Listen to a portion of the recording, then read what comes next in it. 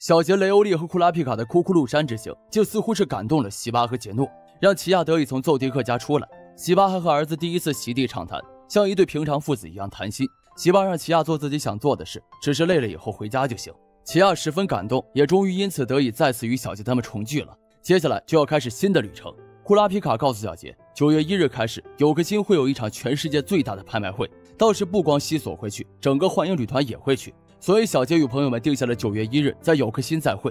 不过现在距离九月一日还有半年时间，雷欧利打算努力读书备考，库拉皮卡则要好好打工赚钱。至于小杰，则计划和奇亚四处走一走、玩一玩了。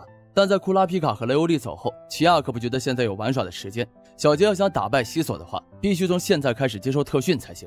想打败西索，可不能只依靠嘴炮。如果半藏和西索的实力差距有二十厘米，那么小杰和西索的差距就是二十米呀。小杰看到齐亚在地面上画的线条也很忧伤，真的有差这么远吗？他突然有些好奇，那齐亚和西索差距有多少呢？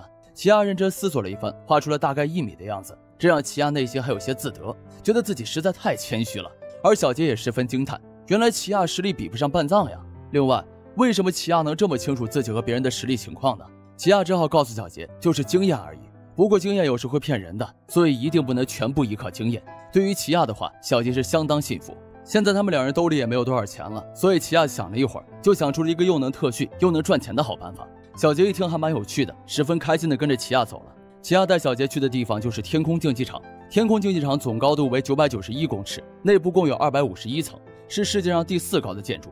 只要打赢就可以往上一层，还有奖金可以拿。当然，打赢的楼层越高，所获得的奖金也就越多，遇到的对手也就越厉害。听到这里，小杰已经兴奋了，这不就是又能赚钱又能增加实力的好地方吗？齐亚也说，小杰现在后悔也晚了，因为自己已经将两人所有的钱都买了船票，身无分文的他们只能从头开始了。两人随即进入天空竞技场的报名中心，发现里面站满了人。他们竟然都是来报名参战的，而且每个人看起来都是十分厉害的样子。在报名的人群中，一个叫智喜的孩子引起了齐亚的注意。齐亚也没想到，这孩子也是来参加竞技场的。看那孩子的年纪也没多大，竟在报名表上填写自己有十年格斗经验，看样子口气不小啊。小杰和齐亚就这样记住了这个男孩。两人很快完成了报名，进入了竞技场。竞技场中央有几十个擂台，每个擂台上都有两个选手和一个裁判。这是第一层，裁判会根据每个擂台上胜利者的表现发放牌子，让他们去指定楼层继续参战。齐亚看着场上比赛的人，很是感慨，这里果然一切都没变呢。原来在他六岁的时候，他就被父亲扔到这里磨练过，他花了两年的时间打到了二百层。小杰听了叹为观止，不愧是齐亚啊，就是厉害。齐亚去告诉小杰，你要是想跟西索这种高手动手，在这里最起码要打到二百层以上才可以。就在这时，广播中让小杰上场比赛了。小杰十分紧张，齐亚却说：“你连四吨重的大门都能推开，还怕什么？尽力一搏就行。”随后还拉着小杰说悄悄话，也不知道说的是什么。小杰的对手是一个五大三粗的壮汉，看到跟小鸡一样的小杰，壮汉有些开心，看样子自己今天运气好，来了个送分的。可不料战斗开始，小杰一掌就把壮汉给推飞了老远，在墙上都撞了个大坑。现场的人全都大惊失色，这小孩子咋这么有力气？一旁的裁判见了也是惊诧，赶紧将通往五十楼的凭证递给小杰。看来他也知道小杰有直通五十层的实力啊。这里看到这个裁判，竟然突然想到了团长，他应该不是团长用来暗算西索的那个人吧？小杰十分开心的拿着凭证去找齐亚了。等轮到齐亚上场的时候，他更是轻松一下秒杀对手。裁判于是认出了齐亚，这孩子上次都打到二百楼了吧？这样厉害的选手可以从一百八十层继续往上打。不过齐亚打算跟小杰一起共同进退，所以只要了一张五十楼的凭证就下了台。没想到这时轮到智喜上场，他也干掉了对手，轻松得到了去往五十楼的凭证。三个小孩子乘坐电梯到了五十层，一路电梯小姐叽叽喳喳介绍情况，可三个孩子就没理他。他们聊着天，没多一会儿就相当熟悉了。出电梯后，智喜问小杰和齐亚是什么流派的，两人一脸懵逼，让智喜也相当诧异，说自己是新源流拳法。小杰和齐亚竟然没人指导就这么厉害，实在太难得了。而这时，智喜的代理师傅云谷出现，他将智喜得到的奖金交给他，还叮嘱孩子们要注意身体，准备迎接下一场比赛。他也是没想到，除了智喜，还有其他孩子来到了这里。搞笑的是，齐亚和小杰都学着智喜的方式和云谷打招呼，两人还是孩子呀。小杰和齐亚随即也将第一层的奖金领了回来，钱不多，只能买一罐果汁。但齐亚表示，下一场比赛的筹码就有五万元了，如果打到一百楼，还会得到一百万。通过一百五十楼就会有一千万以上，大家必须努力才行。齐亚说，当年其实自己在一百九十楼就放弃了，不过也拿到两个亿，只是那些钱全都被齐亚拿来买零食了。小杰和志喜呆住了，都用来买零食了吗？是什么好吃的呀？三个孩子聊得开心，没注意到旁边有人听得不耐烦了。那些人走过来，本想嘲笑奇亚几句，靠近一看，才发现竟然是老熟人。亚莫利三兄弟没想到会在这里看到奇亚，于是被奇亚小小一威胁，就吓得脸色苍白，头也不回的跑了。很快，五十楼的比赛开始，奇亚的对手正是智喜。在每位选手上场以前，观众们都要先压住。结果观众大多数觉得奇亚打不过智喜，这让奇亚十分不爽。很快比赛开始了，智喜摆出了十分漂亮的攻击姿态，奇亚则双手插兜，十分悠闲地走到智喜身边，从容躲过智喜挥拳，顺手一记手刀将智喜击倒。奇亚率先得了两分，在比赛中谁率先得了十分就算赢。奇亚本来以为自己已经赢了，结果却发现智喜又艰难地爬起来，这让奇亚很是诧异。他刚才用的力量很重，以为智喜要晕一阵子才行呢。于是战斗继续进行，这次智喜动作迅速而警觉，可是还是难逃奇亚的攻击。不过智喜很快爬起来，没让奇亚得分。智喜气喘吁吁，见一直赢不了奇亚也急了，竟打算使用压箱底的一招，整个人的气势一下子就变了，让奇亚突然感到了一阵恐惧。他猛地后退几步，可就在这时，看台上的云谷突然大吼一声，那声音太大，震得整个会场都跟着颤抖起来，甚至连在旁边听离比赛的小杰都感觉到地面在不停的颤抖。此时，小杰刚刚将亚魔力三兄弟打败，跑到外面的时候，刚好看到奇亚也赢了战斗。奇亚对智喜的评价相当高，最主要的是，他刚才竟在智喜身上找到了一丝他大哥伊尔迷的影子。那家伙好像要使用什么绝招，但是被云谷制止了。战斗结束后，他偶然偷听云谷批评智喜，隐约听到了一个念字。云谷说：“智喜暂时还不能使用念，只有到了天空竞技场的顶楼才能使用。如果被眼前的胜利所迷惑，就会削弱未来的可能了。”奇亚也因此告诉小杰，他决定改变策略，也要到达最顶楼，看看顶楼是何方神圣。之后，经过一路过关斩将，小杰和奇亚顺利的来到了一百层。电梯小姐恭喜这俩孩子达到了一个里程碑，但小杰和奇亚才不觉得有什么呢。二百层才是他们的目标。这话让电梯小姐觉得他们太臭屁了，连连表示一百层拥有专属房间等很多优待。所以，有的高手甚至会为了享受待遇，故意长时间停留在一百层，远不是五十层可以比的。因此，他们可能即将面对可怕的局面，就是那些实力原本远超一百层的对手。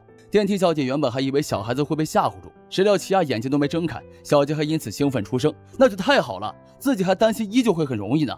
电梯小姐这下都要被气死了，背过身咬着衣服，感觉这俩孩子是不识好歹呀。但随后她就听到，齐亚六岁的时候就已经经历过一次了。这下电梯小姐三观彻底崩塌了。看看人家六岁，再想想自己六岁，小姐姐连开电梯的心思都没有啊！而小姐姐果然是小看了小杰和齐亚。接下来的战斗，两人依旧所向披靡，顺利打到了一百五十层。小杰已经被存折里的数字惊得说不出话了，他数了好几遍，也没数明白到底是多少个零。反观齐亚，现在已经无钱一身轻了，他的钱果然都被他用来买了零食。小杰看着堆成山的巧克力糖球，默默发誓，以后可不能让齐亚管着钱呢。两个孩子在屋里打打闹闹半天，小杰还是完全无法反抗齐亚的力量，他不由得有点泄气。要怎么才能让自己进步呢？小杰突然想起了智喜和他的师傅云谷。齐亚说，智喜这孩子十分特别，虽然攻击力不强，但是十分抗揍。自己无论用多大的力气打他，最后他都能爬起来。当时自己也是有点冲动了，最后就直接用了全身力气打了智喜。虽然那次攻击让齐亚赢了比赛，但齐亚却有些担心，以为自己出手重了，伤到了智喜。可那孩子还是坚强地爬了起来。小杰十分诧异。难道智喜这扛揍的秘诀就跟云谷说的什么念有关吗？齐亚也十分好奇，他俩决定直接去找云谷问问，没准能多学点知识，以后再往上层打的时候也事半功倍呢。其实这里也感觉奇怪，为什么奏迪克家族不教齐亚念呢？不会是老贼后面才想的概念吧？小杰两人想到就去做，他俩去找智喜，智喜倒是毫不犹豫的倾囊传授。可是孩子到底是年纪小，说的话让小杰和齐亚听得云里雾里，云谷实在是听不下去了。看到齐亚和小杰都十分执着礼貌，只好亲自给齐亚和小杰讲课。云谷说：“其实所谓的念，就是燃烧心智，也就是意志的强韧性。修行的过程可以分为四大类，分别是点、舌、练、发四种。首先要以点使心智集中，凝视自我，并且设定目标；接着是以舌将想法化为语言，以练升华意志，提高意志；最后再以发付诸行动。而以齐亚感觉自己的气质骤然改变，就是他被不能输的练所压制了。”说着，云谷就让齐亚站起来感受一下。云谷表示要在心中想杀了齐亚这种念头，齐亚懵了一下，觉得无所谓，反正也不可能的。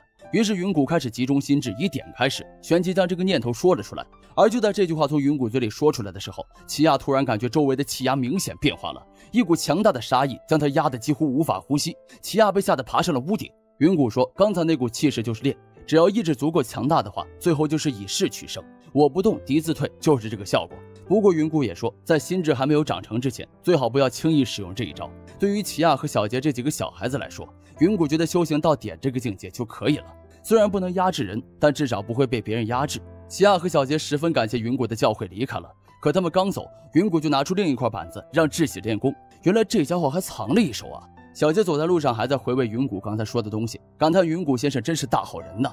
但齐亚却表示，刚才云谷所说的都是骗人的。首先，云谷说的无法解释为什么智喜怎么打都不倒下。其次，在云谷讲解的时候，齐亚注意到一旁的智喜表情十分僵硬，所以这家伙很可能隐藏了什么。齐亚决定要弄明白真正的念是怎么回事。齐亚等人一走，智喜果然就对云谷表达了自己的不满，他觉得云谷师傅不应该骗人。不过云谷却说他们不是本门门徒，自己确实不应该教他们使用念，所以自己才会用燃来代替念讲解。念能力太强，如果被心术不正的人学了去，很可能会成为伤人的利器。有了念，就算一张纸也可以被当成武器，也可以让自己拥有钢筋铁骨。所以云谷才觉得，在不了解对方之前，不能将念交给他们。天空竞技场的战斗仍在继续。没过几天，小杰和奇亚已经打到了两百层，又看到了熟悉的电梯小姐。因为奇亚也不知道二百层有什么，小杰就想问电梯小姐情况。结果这电梯小姐之前几次被小杰他们打击了，什么都不肯说。奇亚于是在后面没心没肺的开涮。